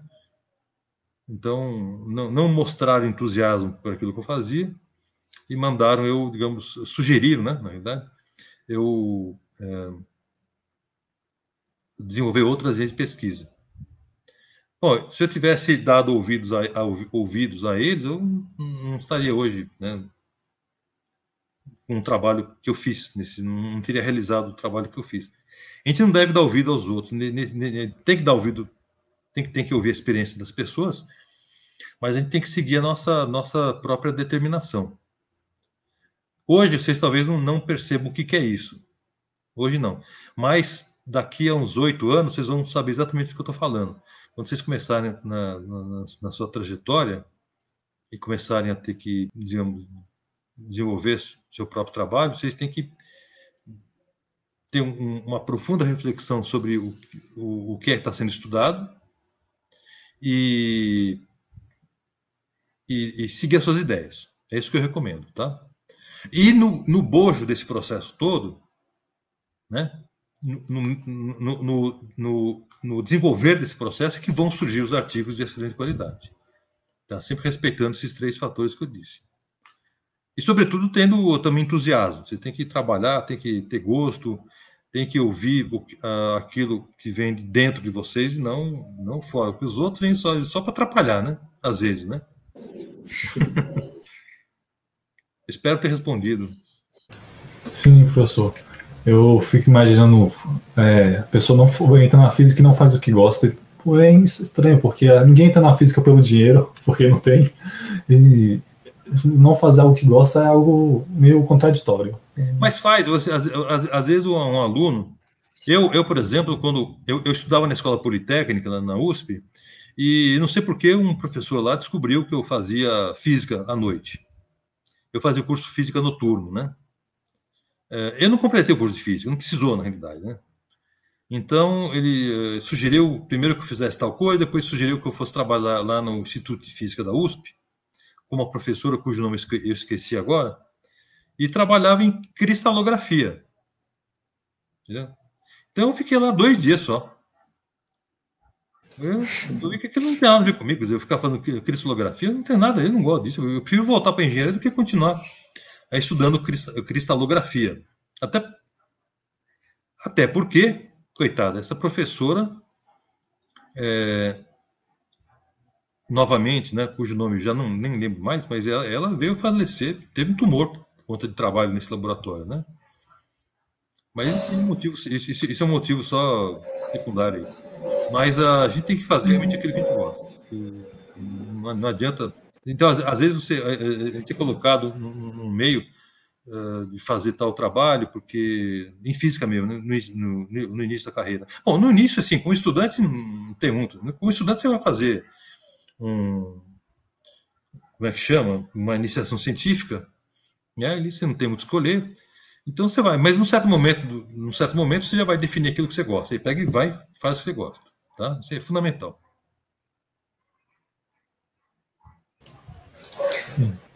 Com certeza. Ótima, excelente dica, muito importante. Bom, mas acho que você até falou aí agora de umas histórias que você teve aí, e a próxima pergunta é justamente sobre isso. A pergunta aqui do Pet é: o senhor tem alguma memória marcante das épocas de aluno, de graduação, de pós-graduação? É, eu, é, eu, eu é, Olha, eu, eu, eu olho algumas coisas que aconteceram na, na, minha graduação, eu olho até com espanto, para dizer verdade, né? Eu olho até com espanto. Hoje em dia, é,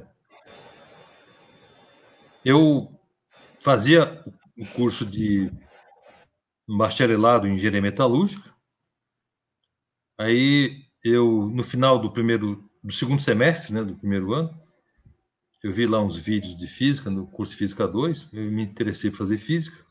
Fiz o, fiz o vestibular, então eu fazia o curso de física noturno. E como eu já disse antes, eu não, eu não terminei o curso, não, foi necessário terminar o curso. Né? Então eu ficava. A memória marcante não é exatamente sobre o conteúdo da, da, dos cursos de engenharia ou de física. Eu, o que eu acho que para mim é, era espantoso é que houve época em que eu tinha curso de engenharia de manhã à tarde, fazia o curso de física à noite e ia pegar a sessão das 10 no Cine Biju, lá no centro de lá no centro de São Paulo, que era um cinema de arte, né? É, é o Cine Arte Biju, Biju 1, Biju 2. Eu não sei como é que eu tinha cabeça para pegar a sessão das 10 depois de um dia como esse. Mas eu fazia isso com, com em algumas oportunidades. Eu sei que é isso para lembrar que a gente vai ficando bastante cansado com o tempo, né? Eu, né? E então eu, eu, eu, isso é uma coisa que me deixa, me, me, essa, essa lembrança me deixa espantado. Como é que eu como é que eu consigo fazer isso? É, na época no curso de, de, de, física noturno eu era um pouco ausente, não tinha muito o que fazer lá. Eu estava repetindo eu fiz, fiz algumas disciplinas, né? Mas não foi marcante. O curso de engenharia foi aquela coisa padrão. É um curso. É, na, é, um curso interessante, afinal de contas, não deixa de ser interessante. Tem algumas coisas é, úteis na, na, na, metalurgia, que a gente aplica, inclusive, em teorias de defeitos topológicos, né, em, gravitação. Mas não teve nada assim, não nada de, de, de, muito marcante. O doutorado, não. O, quando eu fiz o doutorado, foi uma época muito boa. Né? Foi uma. uma é, é tudo tudo é, aconteceu para que o resultado fosse positivo. Foi uma época boa do país. Os, os Estados Unidos eram um país muito acolhedor naquela época. É, as pessoas eram bastante acolhedoras. O, o trabalho foi interessante. Então eu não é, o, isso me deu uma certa satisfação. Foi tudo, correu muito bem lá, né? É, mas assim, uh, as coisas marcantes foram todas fora do, do, do conteúdo de física. Né? Foi conhecer a cidade, a, o ambiente musical da, da, da cidade, ali, daquele entorno, né? E lá tinha muito a jam session, verdadeiro, né? Não era uma jam session fake, vamos dizer assim, né? É porque tinha uma escola de música na universidade muito famosa, no país inteiro. Tinha e tem, né? A escola de música muito famosa, a Eastman School of Music. Então, em torno da escola orbitavam muitos músicos de ótima qualidade. E eles faziam shows nos bares ali, um pouco mais afastados na realidade, e, então ia com os colegas nesses bares para ver o Jump Session. Isso era uma coisa assim que não teve paralelo, não tem paralelo no Brasil. Não existe nada parecido com isso aqui no Brasil. Não existe. E deixa muitas saudades, né? Isso é da vida, da vida como estudante. Né? E uma, é uma memória, na realidade, mas infelizmente não é uma. É, não, não, não tem assim, nenhuma memória marcante que envolva a, o estudo de graduação e de pós-graduação, uma coisa de conteúdo da física. Né? Uhum. Uh, sim, infelizmente foi tudo muito padrão, muito igual. Não, não lembro, não houve nada que me despertasse, né? Acho que até para nós que somos de exatas, muitas vezes as nossas lembranças marcantes são experiências mais de humanas, querendo é. ou não. É. Isso marca muito. É. Ah, foi no sentido mesmo da parte humana, não foi nem na parte mesmo do questão dos estudos, é saber como pessoa mesmo. É, isso mudou muito lá. Infelizmente o, o país mudou bastante, deve estar tudo muito ruim hoje em dia. Mas naquela época, eu, como estudante de, de, de, de, de pós-graduação, lá chama Graduate Student, eu tinha recebia um dinheiro, um dinheirozinho lá de bolsa e dava para comprar um carro, carro vagabundo, um carro velho, né?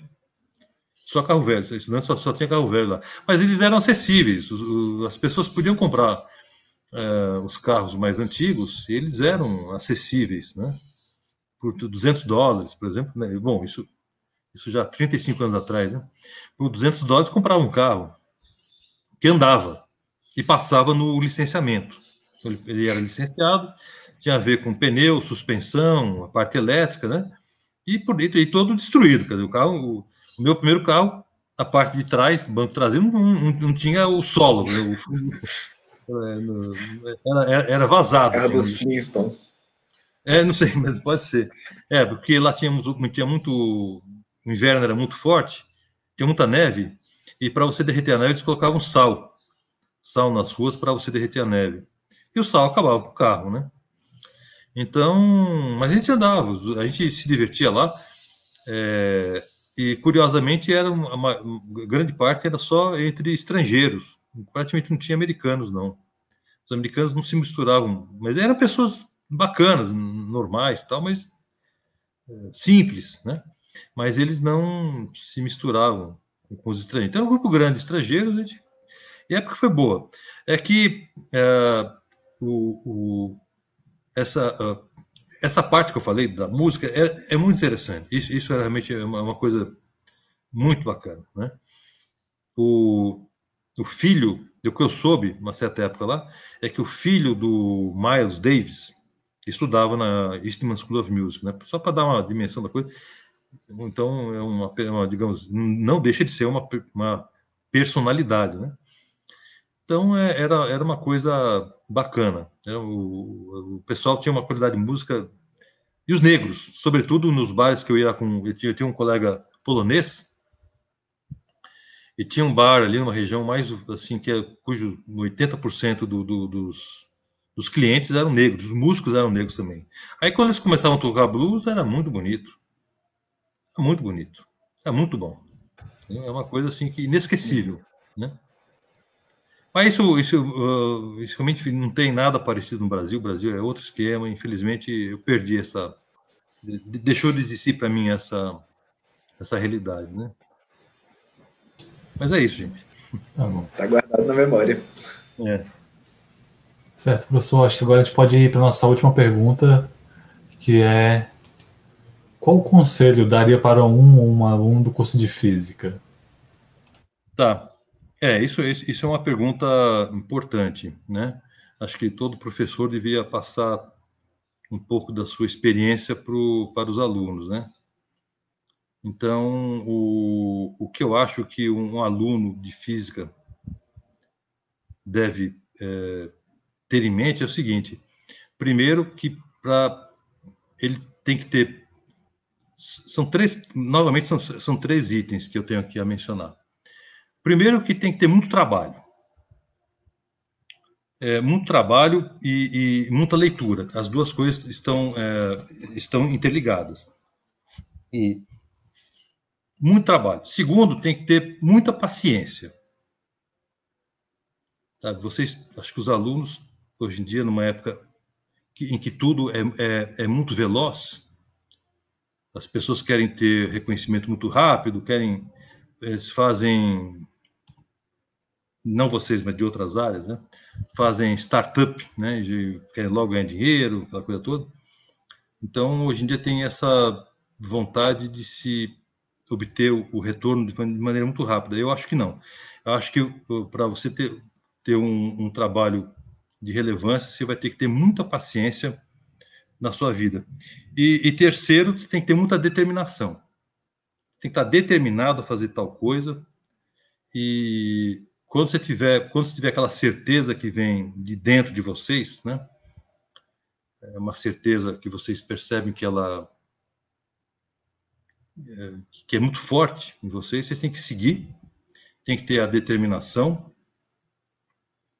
e, e tocar o, o, o, carro adiante, entendeu? É isso. O, a paciência, eu, eu por exemplo, eu, eu, eu é, quando terminou o curso de engenharia em São Paulo, tinha, tinha os meus amigos lá, lá da engenharia e, e nós nos reuníamos, né, para conversar, né, para nos divertir. Aí nós íamos comer pizza de, de fim de semana, né? Aí eu tinha uma bolsa da FAPESP de mestrado. Então eu ia, ia de ônibus. E os meus colegas, já naquela época, eles iam uh, de carro, né? Um, um carro tinham comprado, já estavam um salário e tal. E aí essa, essa situação ficou bem um ano, um ano e meio, enquanto eu fiquei no Brasil, né? Depois eu fui para o exterior. Mas a, a gente tem que. Uh, a gente tem que é, é, ter um pouco de paciência, re, é, relegar ou, ou, relevar essa situação, né? Pensar que o retorno vem muito lá adiante. E vem, entendeu? Se você trabalhar bastante, se você tiver muita leitura, se vocês é, tiverem muita paciência e muita determinação, alguma coisa vai ser. Você pode ter certeza que alguma coisa vai sair disso. É, esse é um ensinamento que eu, que eu passo em função da minha própria experiência, né? Que, que foi assim que aconteceu. Uh, isso hoje em dia é complicado falar isso, é complicado falar é fácil, mas é complicado para um aluno, uh, um jovem, né, não sei, nem, nem, me refiro ao aluno, é um jovem, aceitar isso, porque, uh, como eu já disse antes, todo mundo quer um retorno rápido, quer, é, quer logo é, receber um retorno pelo, pelo trabalho que fez. É lógico, isso é natural, não vou dizer que não seja. Mas uh, tem que ter uma paciência para você ficar ali, e uma certa hora você vai ver que o seu trabalho, se vocês tiverem vontade, determinação, isso vai ter, vai ter, vai, ter, vai gerar frutos, né? Eu acho isso, pessoal. Tem que ter uma. Tá? Muito trabalho, muita leitura. Espero que todos tenham anotado. Eu achei excelente, professor. Obrigado. Obrigado. Bom, na verdade, a gente já falou que essa era a última pergunta, mas apareceu uma pergunta aqui do chat. Na verdade, duas perguntas, as duas da mesma pessoa. E a gente vai fazer ela aqui para finalizar, então. Tá. As perguntas são do Leander Michels, vou botar aqui para a gente ler. Professor, fui seu aluno em 2011, no curso de Eletrodinâmica Clássica, na pós-graduação do IF da UNB. O que é importante para um profissional de física ter na sua formação? E quais são os desafios deles hoje? E ainda vou completar aqui com a segunda pergunta dele também, que foi: no contexto de hoje, o senhor recomendaria uma carreira acadêmica para um profissional, mesmo sabendo da situação atual das vagas nas universidades? Então, acho que as duas perguntas estão juntas. Rapaz, isso é complicado, viu?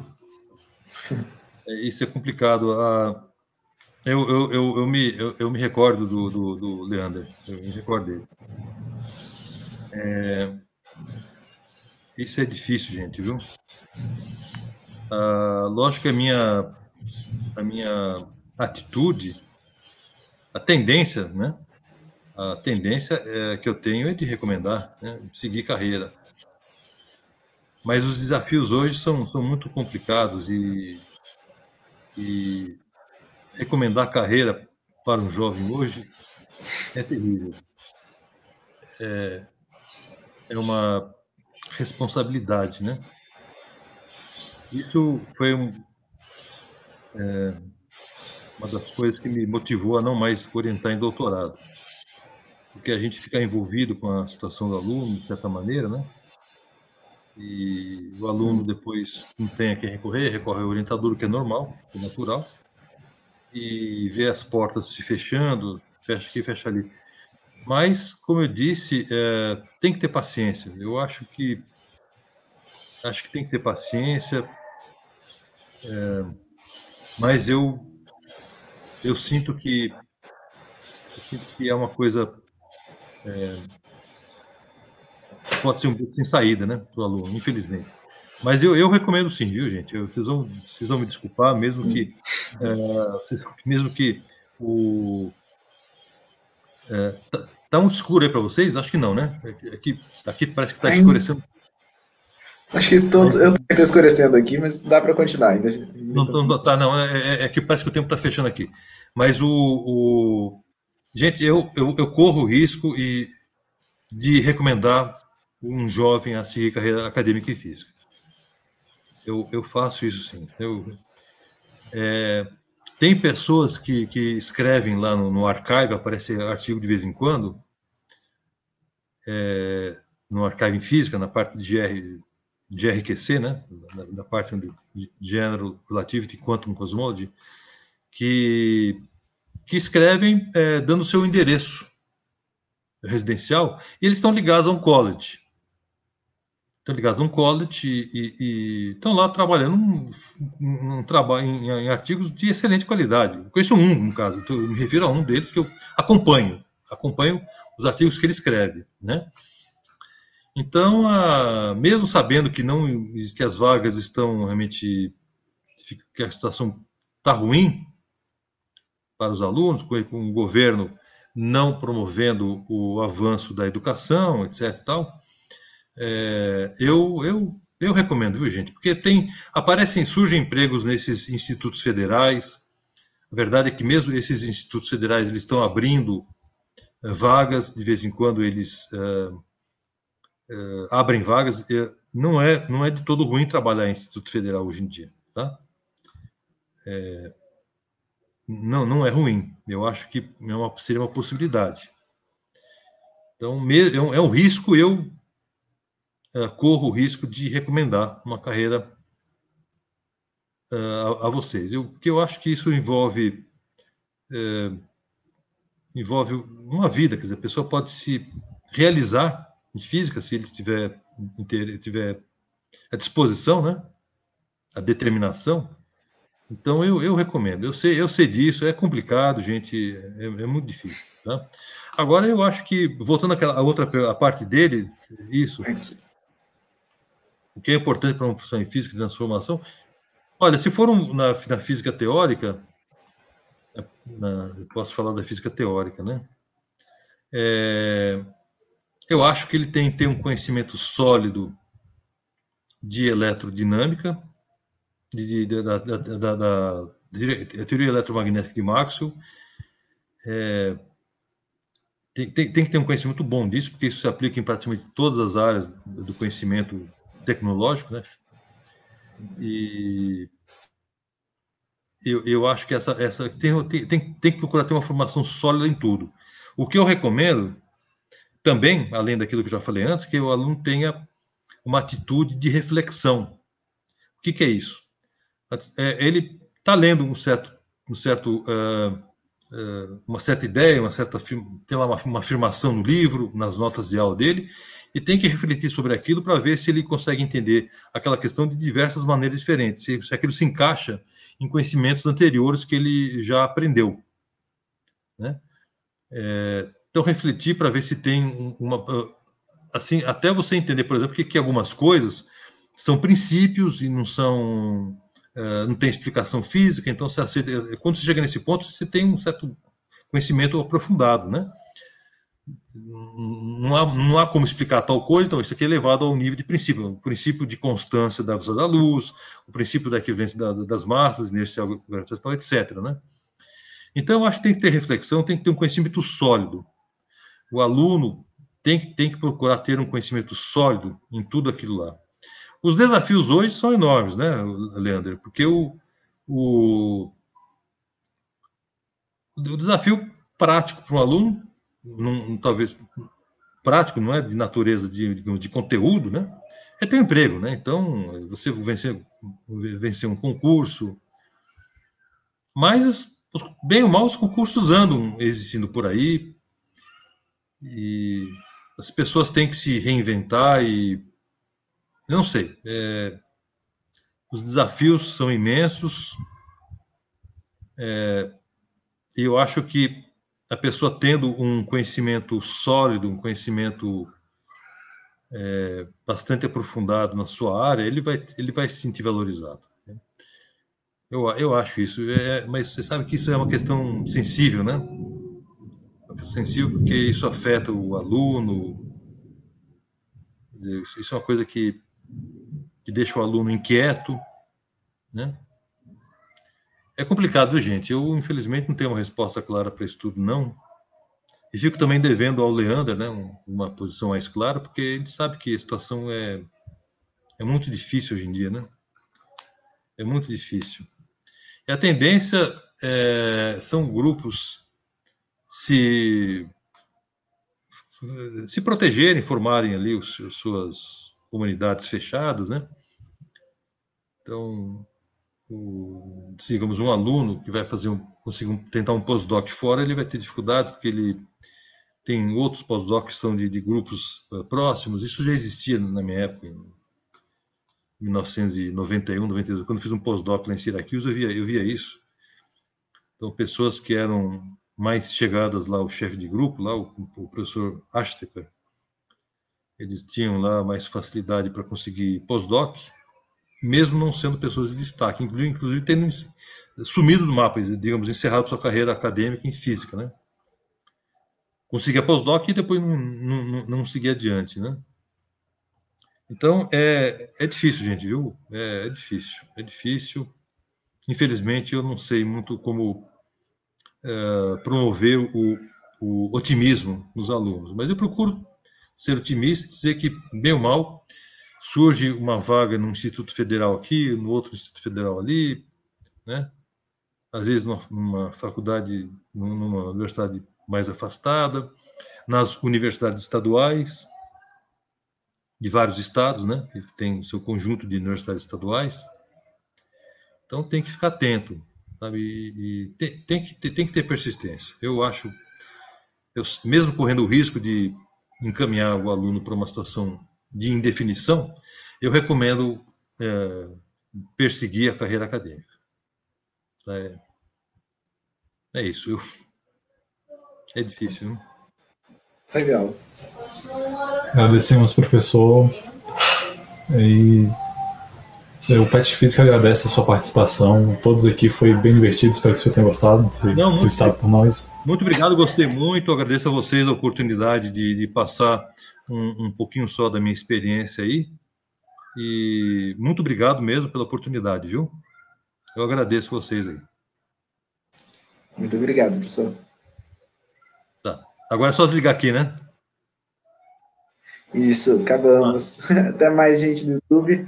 Se vocês quiserem conferir nossas outras entrevistas, está tudo no nosso canal. Não esqueçam também de deixar o gosteizinho aí para ajudar a gente a crescer. Então, obrigado, gente. Tá, Até logo. a próxima entrevista. Até logo. Tchau.